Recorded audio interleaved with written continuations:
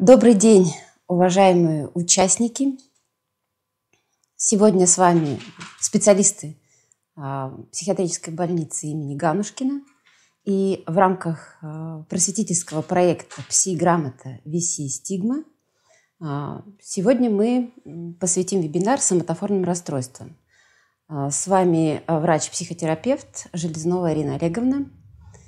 И если у вас будут вопросы, а, можно их а, писать в чат, а, я попробую на них ответить.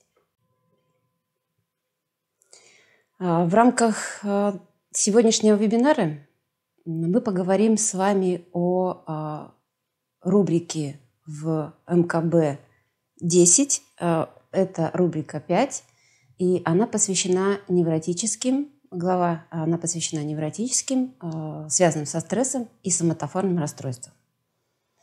И вначале мне очень понравилась цитата.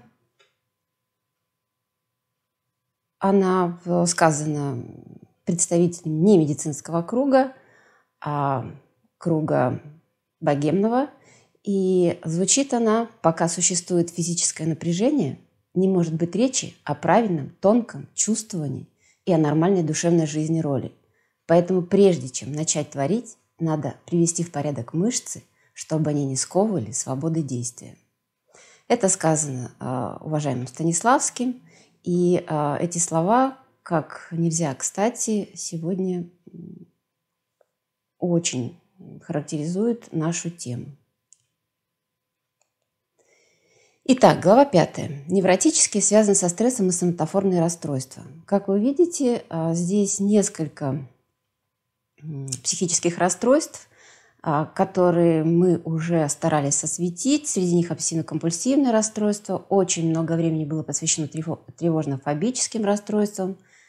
Также вы, наверное, неоднократно встречали, в общем-то, много информации о реакции на тяжелый стресс и адаптационные расстройства.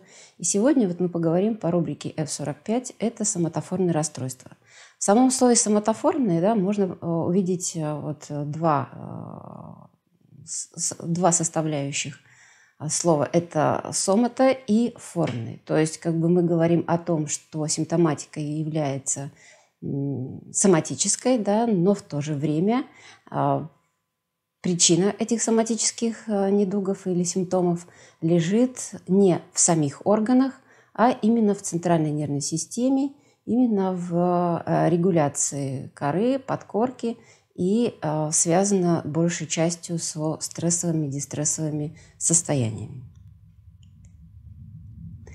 Что же объединяет все эти расстройства именно а, в главу номер пять?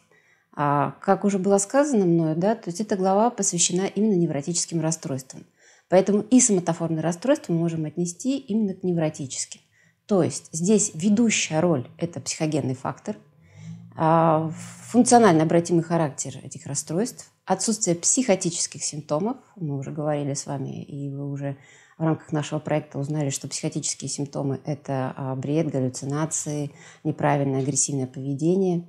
И э, историческая связь э, всех этих расстройств, потому что их рассматривали исторически во взаимосвязи э, нервной системы, центральной нервной системы, системы и соматического благополучия.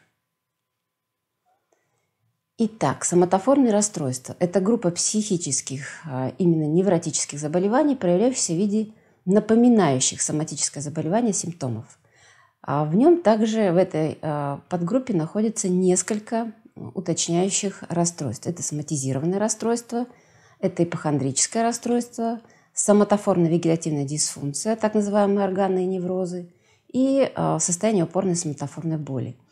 И в данном, в данном вебинаре мы с вами познакомимся с каждым из них, и я постараюсь вам рассказать об отличии каждого из них. Итак, соматизированное расстройство. Какие клинические признаки? Это множественность соматических симптомов, это нестойкость соматических симптомов, это видоизменяемость соматических симптомов, длительность в течение двух лет и более, нарушение поведения в сфере социального, межличностного и семейного функционирования и наличие шести и более симптомов из двух разных групп. То есть, если говорить простым языком, человек приходит и э, приходит именно к, к врачу, э, далеко не обязательно к психиатру, да, потому что так как начинает болеть, колоть или так э, дискомфортно чувствовать в каком-либо органе или части тела, поэтому, естественно, согласно расположению или согласно системе, в которой ходит этот орган, а человек идет к тому специалисту, который может в этом разобраться. Соответственно, это может быть и пульмонолог, соответственно, это может быть гастроэнтеролог, кардиолог. А, ну и, в общем-то, если беспокоят симптомы в мочеполовой системе, это может быть врач-уролог. Поэтому, естественно, по э, тем жалобам по тем симптомам, которые беспокоят, он обращается в, к интернистам и начинается круг обследования. Причем жалобы эти должны э, быть в течение двух лет, как было уже сказано, да, это не только появившиеся. И поэтому вот этот период, как правило, и человек посвящает поиску именно а, того а, заболевания или дисфункции, да, которая, в общем-то, считает или действительно его беспокоит в той или иной системе. А, как я уже сказала, это может быть и желудокишечные симптомы, сосудистые, урогенитальные, кожные, болевые. И вот эти два года, в течение которых все-таки э, данный пациент будет ходить по врачам общей практики, э, сдавать соответствующие анализы, получать консультации и пытаться разобраться с тем состоянием, которое его беспокоит. И по истечении, там, ну, это средние два года, бывает и больше, бывает и пять лет. Но, в общем-то, повезло тем, кто, если специалисты, сказав, уверены о том, что они не находят патологии в том или ином органе, который беспокоит человека, они направляют его а, к психотерапевту, психологу, психиатру. Конечно, а, такой посыл не всегда воспринимается дружелюбно, и многие пациенты уверены о том, что это не так, и э, начинает эффектироваться.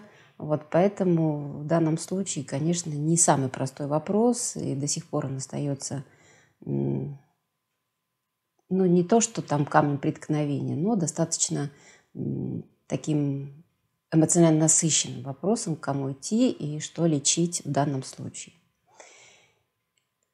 Следующее – это ипохондрическое расстройство. Здесь, э, в отличие от соматизированного расстройства, мы видим э, стойкую озабоченность возможностью наличия тяжелого соматического заболевания с прогрессирующим течением, э, которое мысль об этом беспокоит пациента не менее 6 месяцев, так же, как и симптомы. В отличие от соматизированного расстройства, данный пациент будет уверен в том, что у него действительно есть тяжелое заболевание, просто его не могут найти, не могут диагностировать. Поэтому он будет а, более настойчив в данном случае в своих обследованиях, может, дать, а, может быть даже более агрессивным да, в этом плане и а, пытаться все-таки доказать врачам, что у него есть это расстройство, да, и они обязаны у него его найти. И также второй вариант здесь может быть постоянная озабоченность предполагаемым уродством или деформацией, так называемая дисморфобия, когда человеку очень сильно не нравится какая-то часть тела, а, ну, чаще всего, конечно, это лицо, хотя может быть и само тело. И он пытается как-то избавиться от этой части, которая ему не нравится с помощью либо хирургических вмешательств, э, либо с помощью еще каких-то инвазивных, инвазивных методов. А, присутствует фиксированность на телесных ощущениях и их утрированное истолкование. То есть это где бы там ни а, возникло какое-нибудь покалывание да, или там престезии. И это все очень серьезно э, воспринимается и трактуется в рамках вот э, мысли о том, что есть тяжелое соматическое заболевание. Естественно, такой человек испытывает нарушение нормального функционирования повседневной жизни, то есть он, в общем-то, а, бесконечно находится на обследовании. И а, очень здесь эм, также Показательно это отказ принять иную причину возникновения неприятных ощущений. То есть ипохондрическое расстройство, оно более э, в этом плане, в отличие от соматизированного, более, более упорно. И человек более упорно ищет то, а, чего специалисты у него не могут найти. Естественно, он фиксирован, естественно, он озабочен, и, естественно, он эгоцентричен в этом случае. И вся семья, как правило, в общем-то, подключается к его тревоге, и, в общем-то, семья э, начинает э, дисфункциональную такую вот историю. Ну и в этой же рубрике, самотоф... Э, в рубрике соматофорных расстройств непосредственно очень часто встречающаяся соматофорная вегетативная дисфункция, так называемые органные неврозы – а, с которыми, наверное, в общем-то, встречались либо вы, либо ваши близкие, родные люди. Вот когда а, это жалобы на расстройство системы или органа, регулируемых вегетативной нервной системой. Также здесь страх и беспокойство за наличие соматического заболевания, признаки вегетативного возбуждения, сердцебиение, потливость, тремор, отсутствие объективных признаков нарушения структуры либо функции органов и систем – то есть также врачи не находят именно нарушения функции а, органов. Ну и в подгруппах здесь расстройство сердечно-сосудистой системы, кардионевроз, а, вегетососудистая дистония. А также могут быть затронуты верхние отделы желудочно-кишечного тракта, а, проявляющиеся аэрофагией, котой, неврозом желудка, то есть в виде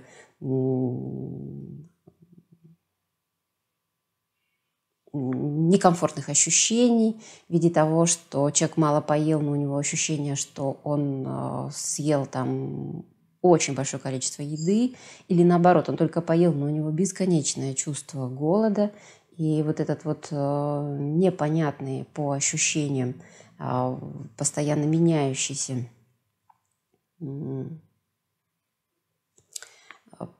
постоянно меняющий симптом, да, он вот э, не дает человеку, в общем-то, покоя. Человек находится в тревоге и тоже пускается в поиск того заболевания, о котором говорит симптом. Также могут быть включены нижние отделы желудочно-кишечного тракта, так называемый синдром раздраженной кишки, психогенный понос, метеоризм – Сюда может быть включена дыхательная система, так называемый гипервентиляционный синдром, тоже знаком. А, мочеполовая система включена, здесь а, популярный гиперреактивный мочевой пузырь, дизурия, но и другие органы и системы. И очень распространенное в этой подгруппе хроническое соматофорное болевое расстройство, когда упорная, жестокая, мучительная боль не менее 6 месяцев любой части тела беспокоит пациента – а, начало его отчетливо связано с эмоциональным конфликтом или психосоциальными проблемами. Сюда включается психогенная боль в спине, психогенная головная боль. И в рубрике «Другие соматоформные расстройства» включены дисфагия, дисменорея, зуд, кривошея, скрежетание зубами. Тоже очень популярный симптом, а, как, такой как скрежетание зубами. И, естественно, а, люди ищут причину – и, в общем-то, часто эта причина лежит именно а, в бесконечном напряжении человека, в ежедневном, когда он не может расслабиться даже ночью. И вот этот тризм да, верхней и нижней челюсти настолько мощный, что вот э, создается такое вот скрежетание зубами. И, э, соответственно, э, рубрика данная включена в очень популярный сегодняшний день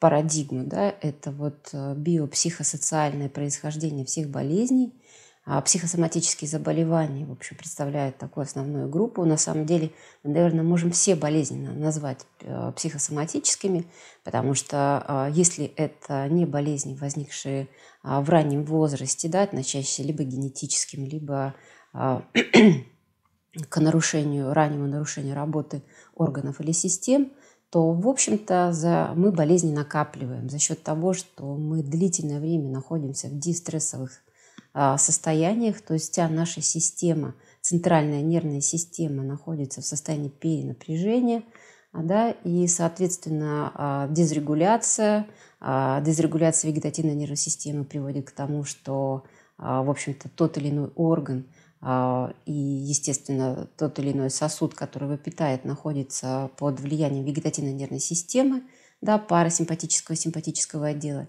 И если они страдают э, под дезрегуляцией центральной нервной системы, то, естественно, идет дисбаланс, который проявляется сначала тем или иным симптомом, потом может перейти в то или иное заболевание. И по жизни мы идем потом с хроническими диагнозами, да, которые бесконечно, в общем-то, пытаемся вылечить. И а, наш российский врач-психиатр, психофармаколог, доктор медицинских наук, профессор, академик Рамн Смулевич – он э, классифицировал психосоматические заболевания на классические психосоматозы. Ну, не он, он собрал да, это все в единую вот такую систему, где выделяются так называемые классические психосоматозы, а святая семерка – это гипертоническая болезнь, язвенный колит – нейродермит, бронхиальная астма, язвенная болезнь желудка, двенадцатиперстной кишки, ревматоидный артрит. То есть у всех этих заболеваний, психосоматозов, явным является а, такой психологический дистрессовый компонент. А, сюда мы к психосоматическим заболеваниям можем отнести нозогении. Это реакции личности на болезнь. У каждого человека есть а, своя внутренняя картина болезни, о которой там он читал, слышал, видел – с детства кто-то болел, да, и создаваясь вот именно на психологическом уровне эту внутреннюю картину болезни, она может сказываться на течение любого заболевания. Называется это нозогения. Соматогения, когда психические нарушения возникают вследствие соматической вредности, то есть когда а, у человека стоит достаточно серьезный, э, диагностировано а, достаточно серьезное заболевание, и он, естественно, психологически реагирует на него. Тот же инфаркт миокарда, да, когда человек начинает, ему все говорят, «Э, вам нельзя стрессовать, вы должны себя беречь, да, и человек начинает, в общем-то, бояться любого стресса, да, вся семья, опять же, также начинает бояться его а, каким-то образом вывести из равновесия, но надо понимать, что человек пришел к такому соматическому заболеванию, находясь уже давно да, в стрессе, и, естественно, в общем-то, не вывести его из равновесия это крайне сложно. И а, непосредственно соматоформные расстройства, о которых мы с вами сегодня говорим, они относятся к классу невротических, то есть возникает на фоне а, психологического стресса или так называемого дистресса, имеет обратимый характер, не имеет патологического очага именно в самом органе – и, в общем-то, обоснованы скорее э, дезрегуляцией центральной нервной системы, вегетативной нервной системы. И вот э, напомнить вам картинку, да, насколько у нас э, такая вот обширная сеть вегетативной нервной системы, которая, в общем-то, иннервирует все органы, все внутренние органы и настолько настолько изначально при возникновении нас э, и нашего организма да, была при, э, продумана настолько четкая организация, что, конечно, сломать ее нужно постараться. И вегетативная нервная система имеет два отдела, которые работают на, по противоположным функциям. Это парасимпатический отдел и симпатический. И а, если обратить внимание на картинку, то вы увидите, что парасимпатический отдел представлен всего в двух местах. Это продолговатый средний мозг, там находятся ганглии, а, я имею в виду в центральной нервной системе. И а, в, в крестцовом отделе да, несколько ганглиев. И все остальное – это симпатическая а, нервная система – но у симпатической нервной системы, если основные ганглии находятся паравертебрально, то у парасимпатической нервной системы а, ганглии находятся в основном около органов, да, или в самом органе, или около него. это тоже, в общем-то, логически обосновано для того, чтобы функция организма гомеостаза поддерживался на протяжении всей нашей жизни. И э, интересно так вот э, на в скидку можно увидеть, что, ну, возьмем любую ситуацию, да, стрессовую, допустим, э, экзамен, перед экзаменом, да, вы что чаще всего, чаще всего что мы испытываем? А мы испытываем а, либо чувство там, нехватки воздуха, да, либо такой так называемую в народе медвежью болезнь, да, когда а, желание сходить в туалет все чаще и чаще становится, а, либо а, в, обильное слюноотделение. Да. То есть, когда есть определенный уровень тревоги, то реагирует парасимпатический отдел как бы поддерживая именно, а, а, сообщая нам о том, что вот мы находимся в тревожном состоянии. И если мы переходим именно в, непосредственно в страх, да, когда уже вот э, организм нужно либо бежать, либо бороться, тогда, в общем-то, меняется вегетативная э, система с парасимпатической на симпатическую регуляцию, имеется в виду органов. И, в общем-то, э, вы можете тоже увидеть, что у страха глаза велики, да, расширяется зрачок, э, слюны не хватает, дыхание становится глубоким, увеличивается частота сердечных сокращений, замедляется пищеварение, стимулируется выделение глюкозы, адреналина, расставляется мочевой пузырь, сокращается прямая кишка, и мы готовы к действию. Да? Если в первом случае мы просто в тревоге, а, там, ну, не знаем, куда себя деть, да, как, а, то здесь, конечно, организм уже готов на мощную реакцию, чтобы спастись. Ну и а, если говорить о происхождении да, всех э, психосоматических расстройств, включая соматофорные расстройства, то нельзя не коснуться известной теории специфического психодинамического конфликта Александера. Мы с вами уже о ней говорили, а, что впервые да, он предложил теорию, согласно которой симптомы вегетативного невроза являются не попыткой выражения подавленного чувства, как говорил Фрейд, а физиологическим сопровождением определенных эмоциональных состояний. То есть если Фрейд считал, что через орган говорит подавленная, функция, э, подавленная эмоция, которую мы себе запрещаем, то э, Александр говорил о том, что э, как раз э, вегетативная дисфункция, симптом – а, сопровождает какое-то эмоциональное состояние, очень сильно выраженное, неудовлетворенное, очень сильное напряжение. А, потому что эмоция – это энергия, да, а энергия всегда найдет а, точку приложения. И не всегда это чисто а, психологические какие-то моменты, а, да, а, тело тоже нам помогает распознать эту эмоцию или, по крайней мере, сообщает нам о том, что мы находимся в каком-то сильном эмоциональном напряжении. И а, существует очень много, сейчас немножко я перейду к следующему слайду, вот, а, существует а, очень много логических, наверное, так скажем, больше логических умозаключений, чем а, доказательных, да, то есть о том, что какой орган о чем нам говорит – очень часто, вот, э, там, допустим, те же а, ангины, фарингиты, да, а, свидетельствуют о том, что человек находится в обиде. Или а, он не чувствует себя невысказанным. То есть, когда у человека накопились, э, его не слышат, да, и у него накопилась на этот счет какая-то сильная эмоция, в частности, обида, то это может сказываться на таких вот постоянных симптомах больного горла. Ну, это одна из карт, она просто символична. А вы можете найти их очень много. С, с этими картами работают и рефлексотерапевты, и, в общем-то, кинесиологи. Ну, много специалистов, которые обращают и психотерапевты, да, всевозможными а, психотерапевтическими методами, о которых мы тоже будем говорить позже. Ну и такое схематическое представление развития соматического заболевания да, по Александеру, когда есть интерпсихический конфликт, то есть именно конфликт внутри самого человека, который вызывает хроническое эмоциональное напряжение и соответствующие функциональные сдвиги либо в симпатическом звене вегетативной регуляции, либо в парасимпатическом звене вегетативной регуляции. И а, потом уже, когда проходит много времени, где тонко там рвется. А тонко там мы можем проследить по нашему роду. Да? То есть если, а, допустим, болезни сердца там, прослеживаются на протяжении нескольких поколений, то можем понимать, что здесь у нас есть слабое звено. Уж какой это уровень слабого звена, да? то есть рецепторный, а, нейромедиаторный или еще какой-то. А, это вот медицине а, предстоит узнать. На какие-то моменты мы можем ответить на какие-то вопросы, да, на какие-то еще нет. Но тем не менее, фактически мы приходим к, к болезни, а, которые тоже, как я говорила, уже имеют психосоматическую природу, причем все болезни. Если это раньше была святая семерка, то сейчас она а, настолько расширилась, настолько дополнилась, что можно сказать, что все наши хронические заболевания практически, да, ну, наверное, даже все имеют психосоматическую природу. И мы не можем это исключать, а, находясь вот на современном этапе развития медицины.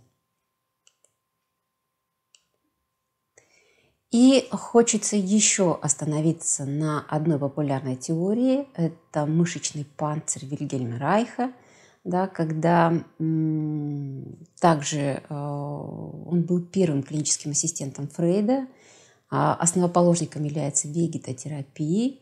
А, его вклад в, э, в психосоматику известен так называемой аргонной энергией. Это биологическая энергия. Естественно, она течет вверх и вниз по телу, вдоль позвоночника. И хронические мышечные зажимы, которых он выделял семь, а, блокируют э, три состояния – тревожность, гнев и сексуальное возбуждение.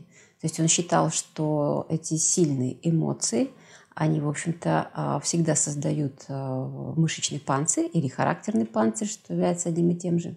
И вот это кольца мышечного панцира формируется под прямым углом к потокам, к э, естественным потокам энергии и препятствуют движению этой энергии. Мышечные зажимы ограничивают как свободный поток, так свободной э, энергии, так свободное выражение эмоций у человека. Поэтому э, он предложил механизмы разблокировки. А это механизмы работы с телом, это так называемая телесно, в основе телесно-ориентированной терапии – этот механизм а, лег. И, в общем-то, он работает, и психо... телесно-ориентированная терапия является очень популярной а, на сегодняшний момент, популярным видом вообще психотерапевтических методик.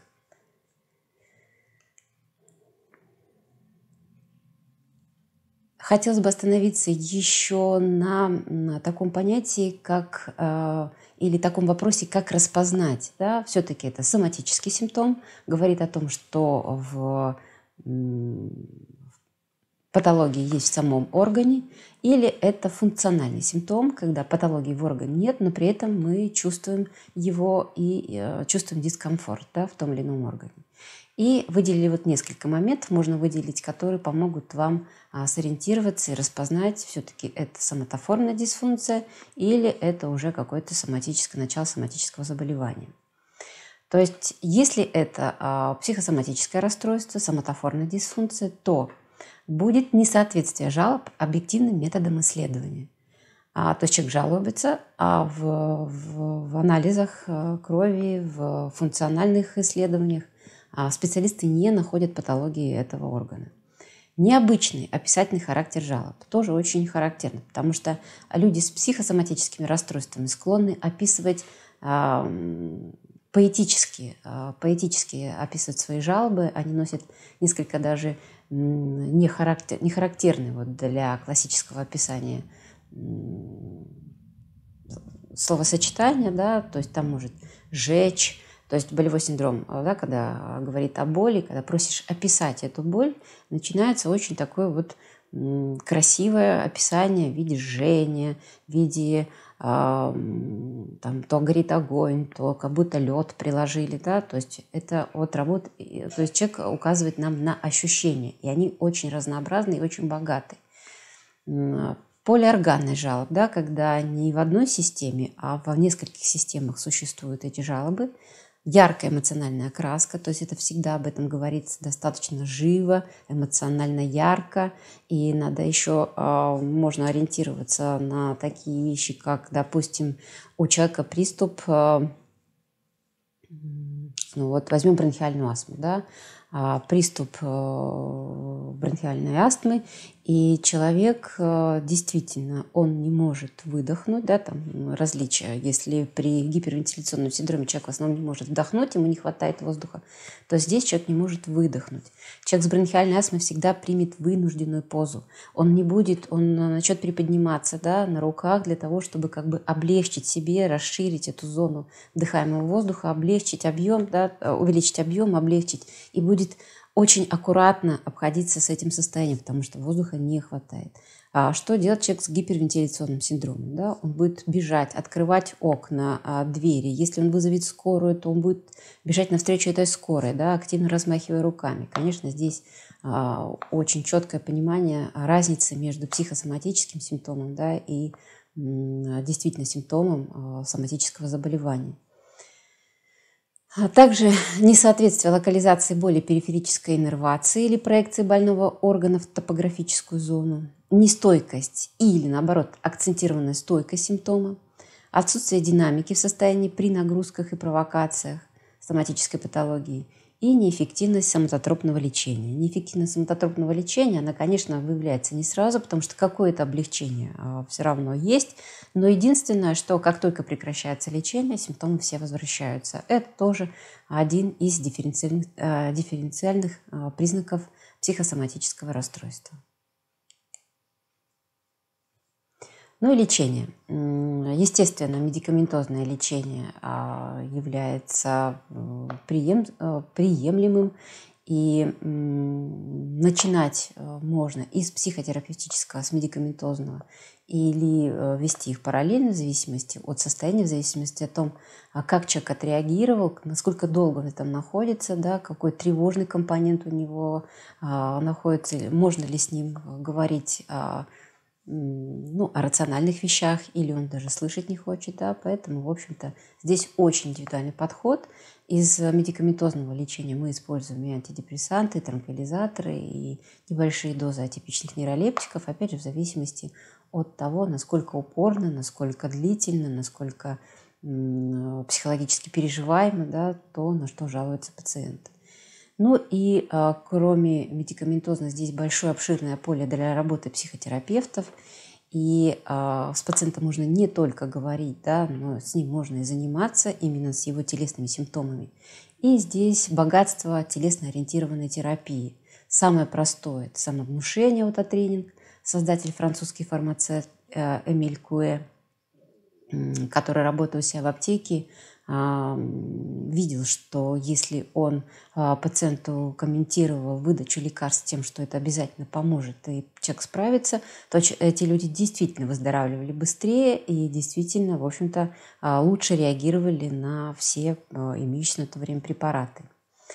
Здесь небезызвестная вам прогрессирующая релаксация, разработанная в 20-е годы 20 века американским физиологом Эдмонтом Якобсоном, да, когда тренировка мышц через нагрузку, расслабление, нагрузку, расслабление приводит к расслаблению. В общем-то, человек чувствует облегчение а, во всем организме. Это медитация, это ребёфинг, да, дыхание непрерывное. Э, это холотропное дыхание американского психиатра Станислава Грофа. А, тоже, а, в общем-то, практика имеет место быть. А, это вегетотерапия Райха, танцевально-двигательная терапия. В общем-то, э, я привела здесь наиболее популярные, их еще много. Можно и использовать терапию голосом. Там очень много задействовано систем, да, для того, чтобы научиться петь, э, надо расслабиться. Ну и, в общем-то, а, вся схема работает тоже через расслабление. Ну и хотелось бы остановиться еще на такой небольшой детали. А, у нас сейчас, а, мы сейчас пользуемся классификацией, международной классификацией болезней 10 пересмотра. А, в течение следующего года да, мы будем потихоньку вводить новую классификацию, уже 11 пересмотра. И, как показано на слайде, соматоформные расстройства, соматизированные, соматоформная дисфункция у нас перейдет в так называемый телесный дистресс. То есть само название уже говорит э, о том, что все-таки это дистресс, который э, человек, в котором человек находится, и проявляется он через телесное недомогание, через телесные симптомы. Традиционно остановимся на структуре нашей психиатрической больницы, где вы можете получить и стационарную, и э, внестационарную помощь. Работает телефон доверия, неотложная помощь, справочная служба. Следующий вебинар у нас будет посвящен психическим расстройствам позднего возраста. Проведет его врач-психотерапевт Лязянская Мария Анатольевна – на сегодня у меня все. Я благодарю вас за внимание. А, если есть вопросы, можно задавать. Мне показывают, что вопросов нет. Я вас поздравляю с наступающим Новым годом. Желаю вам крепкого здоровья. Остальное все приложится. До новых встреч! До свидания.